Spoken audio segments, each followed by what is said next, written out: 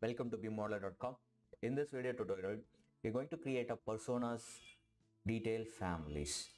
So how to create a detail family from a personas perspective, like importing an image from the Google and we will be drawing the images and how to download those from bimmodeller.com as free Revit families.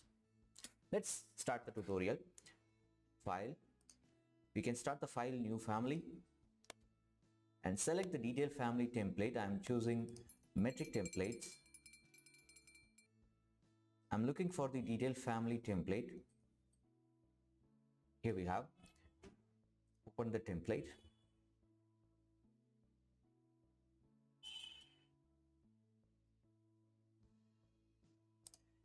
Save the family.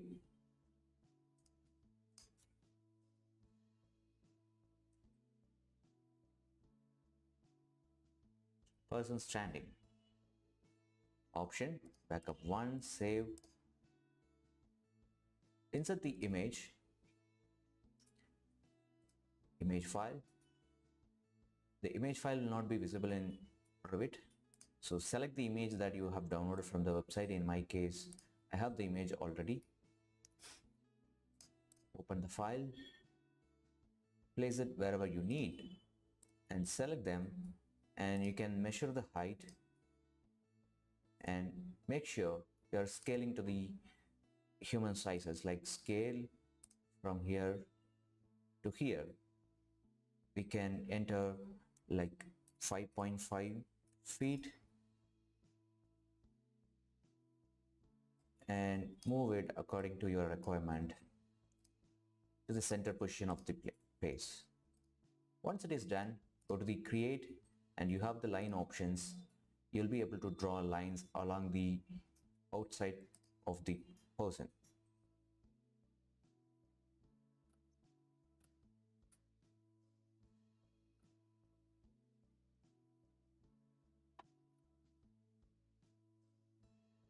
I'm going to fast forward this so that you'll be saving the time.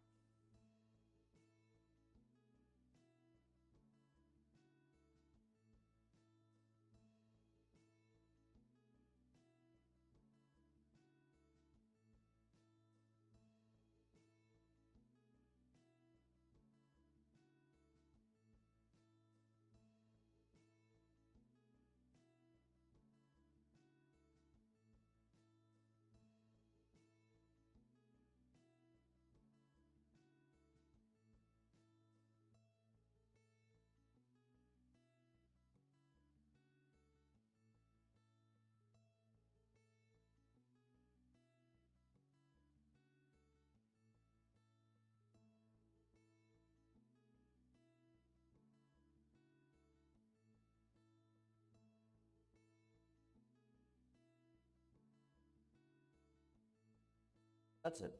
We have done our outlining.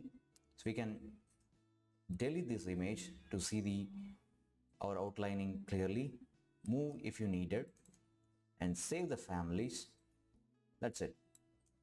Similarly, we have done a couple of families, more than hundreds of families in bimmodeller.com. You can go to the downloads of bimmodeller.com and search for personas.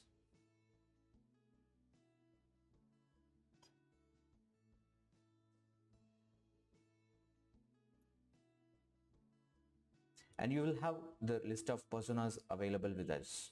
And we have more than hundreds of personas families with us in bimmodeller.com you can download the list free after logging in to the website Thank you so much for watching. See you on the next tutorial. Take care. Bye-bye.